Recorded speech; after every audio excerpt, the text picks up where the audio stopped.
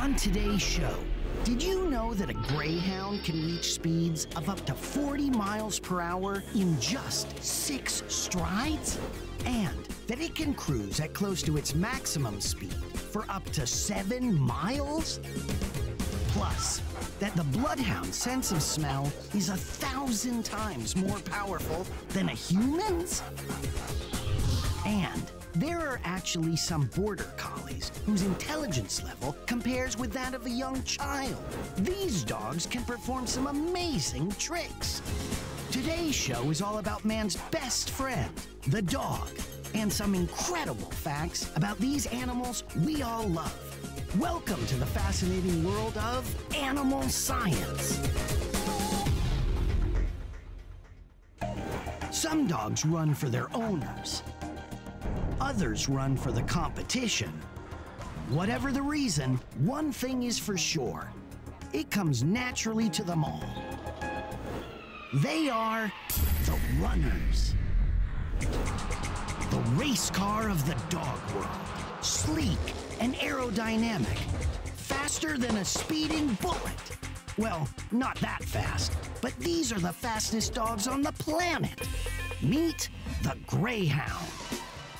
Throughout time, the Greyhound has been bred for one thing speed. Known as the cheetah of the dog world, the Greyhound can run faster than any other dog. Its streamlined body makes it the ultimate canine athlete. Long, lean, with tremendous lung space and a huge heart, the Greyhound can reach blinding speeds of up to 40 miles per hour within its first six strides. No other land animal, aside from the cheetah, can accelerate that quickly.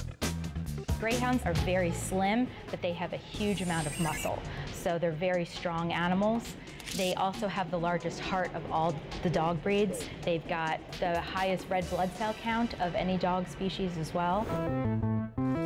Amazingly, when a greyhound is running at full speed, its heart rate rises to 360 beats per minute, supplying its muscles with the oxygen required for high speed sprinting. Compare that to a human, whose heart rate averages about 180 beats per minute when sprinting. Put simply, the Greyhound is an engineering masterpiece. Here, we see a greyhound running at full speed. Its powerful shoulders, long hamstrings, and flexible back and spine all work in tandem to produce maximum running performance. The sprinting gait of a greyhound is called, get ready for this, the double suspension rotary gallop. You can see all four of its feet are off the ground at the same time. Unlike other sprinters like the cheetah, the Greyhound is also a distance runner. It can cruise at close to its maximum speed for up to seven miles. This means that while the cheetah would win in a sprint, the Greyhound would win in a longer race, leaving the cheetah panting in the dust.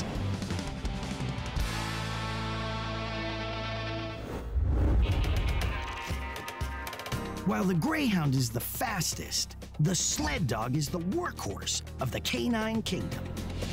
One thing you may not know about the sled dog is that it's a genetic mutt.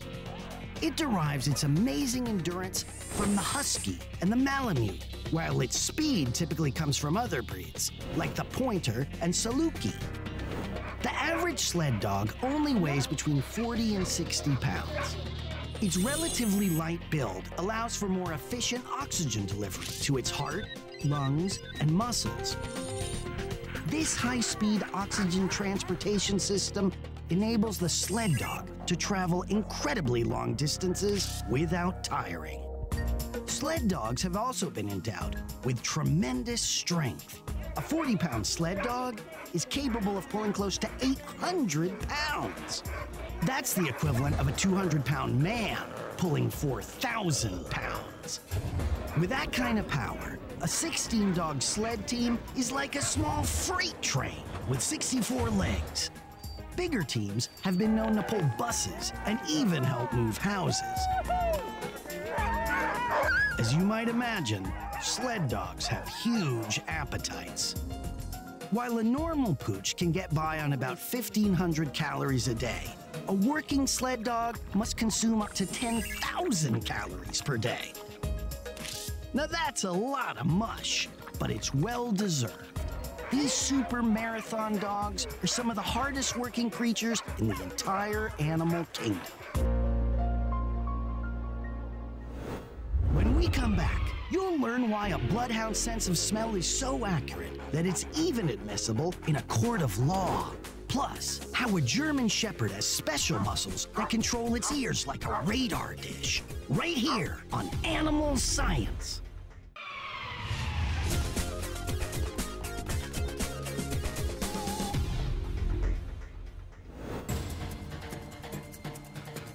Mother Nature has endowed every creature with a specific set of talents needed for survival. Cheetahs possess great speed and agility, while bears typically display awesome power and strength. Certain canine breeds also have special abilities. We call them the super dogs.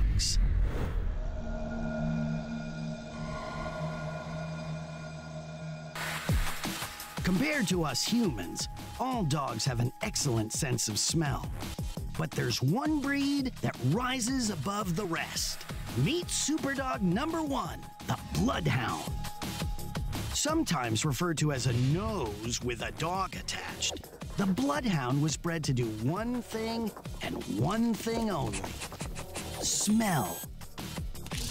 They're used all over the world to help track down missing people and criminals. The Bloodhound's entire body is built for scent tracking.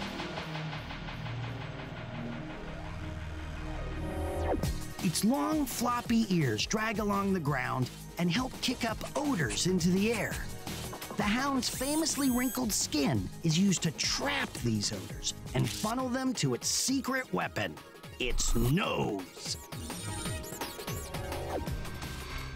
When a bloodhound is tracking a scent, odors travel through the air into its large nasal cavity. Once inside, the smell is picked up by the hound's olfactory nerves. Chemical signals are then sent through the nerves to the olfactory lobe in the brain. The lobe processes the scent and miraculously creates an odor image. If you think about the number of scent receptors that humans have at about 5 million, the bloodhound has close to 300 million.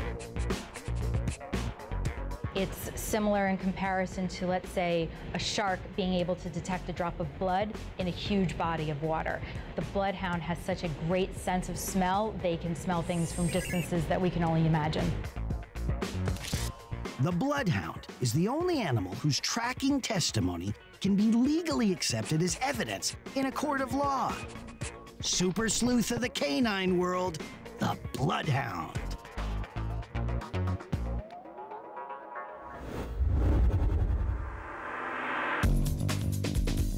Another breed of dog, adept at sniffing out crime, is the German Shepherd. But there's more to this breed than meets the nose. While the Bloodhound is a specialty dog used for tracking, the German Shepherd is an all around super breed. Got something? German Shepherds were originally bred to be herders of livestock, but what they found was the German Shepherd was actually multi-purpose. They could use them a lot for things like being a scent hound, a guard dog.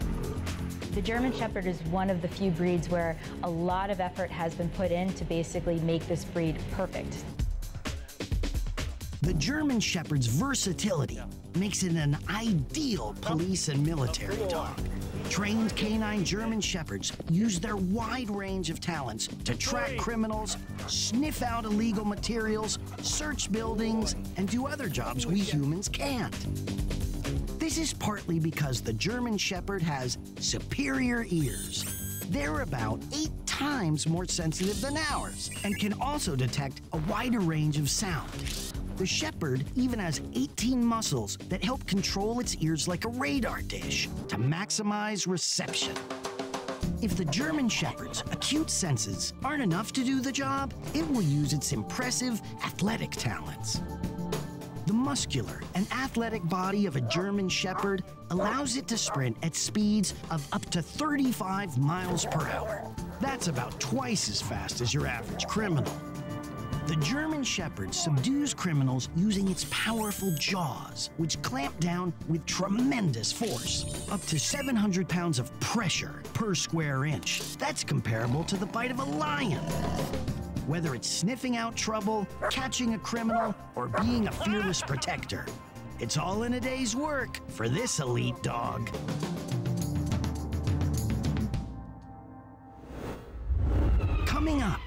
The mysteries of canine intelligence are revealed. And the age old question can you really teach an old dog new tricks? is answered right here on Animal Science.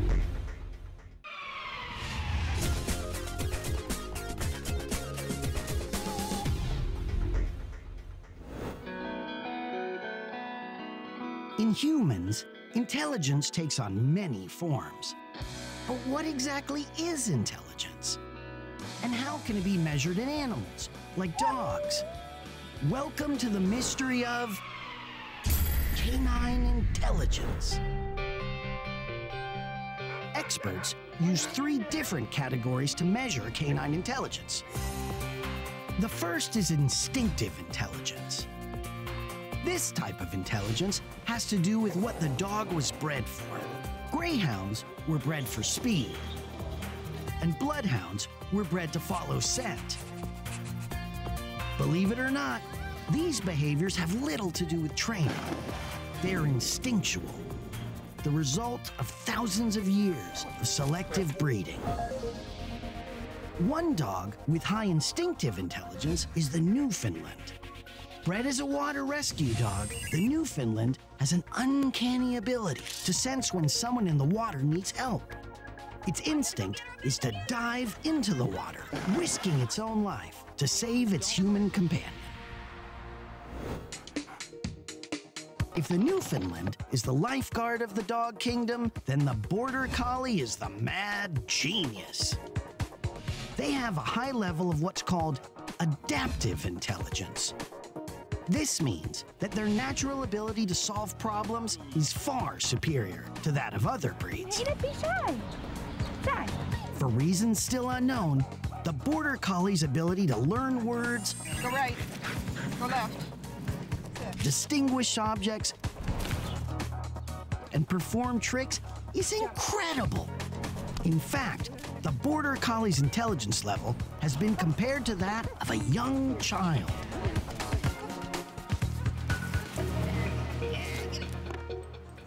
The final canine intelligence category has to do with how well a dog can follow commands. It's called obedient intelligence. Assistance dogs and police dogs typically score high in the obedient intelligence category. This is because all of them have a strong desire to please humans.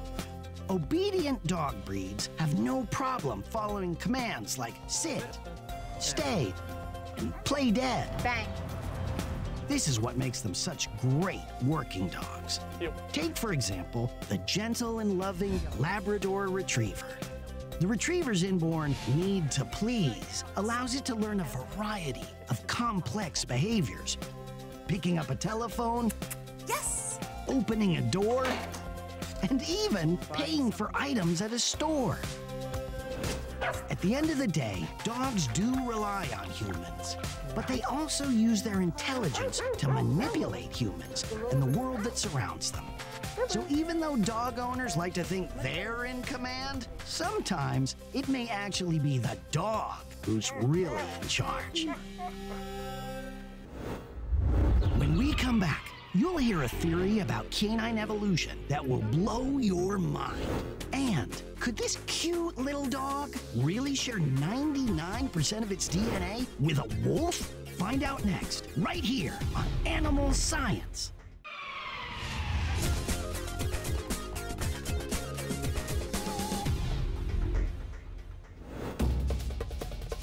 What exactly is it that makes an animal truly wild? Why are we able to domesticate some species but not others? And finally, what are the differences between a domestic animal and a wild animal? Next, we compare the dog and the wolf.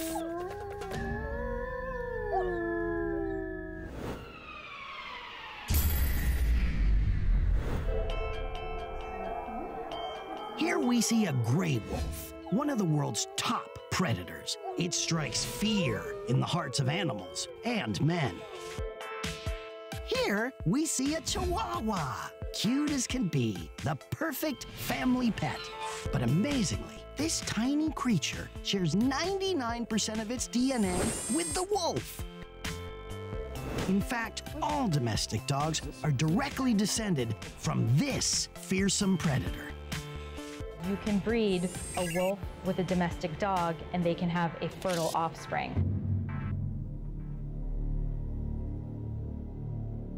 Most scientists agree that dogs were first domesticated about 14,000 years ago.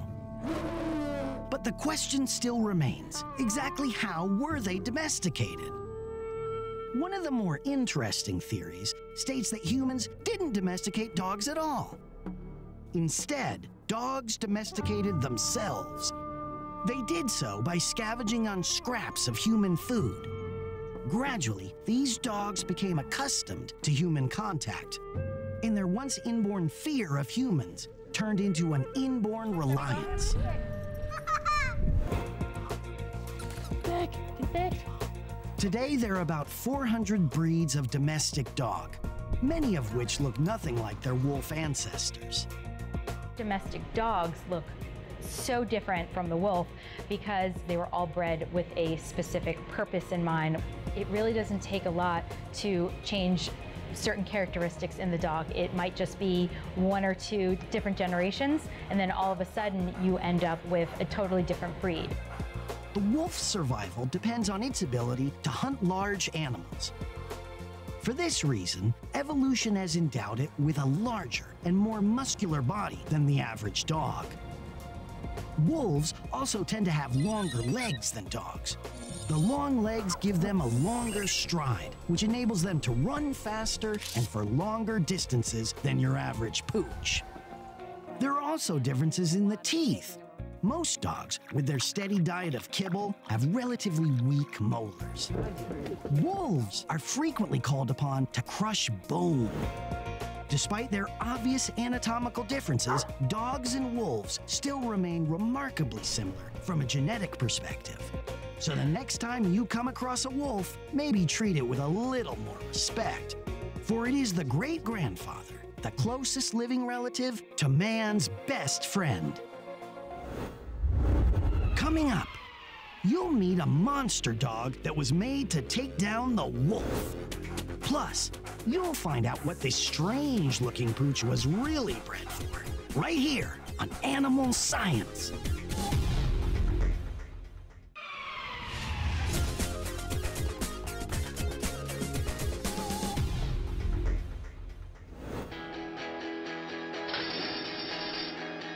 With over 400 breeds and counting, the dog is more varied in size and shape than any other animal on the planet.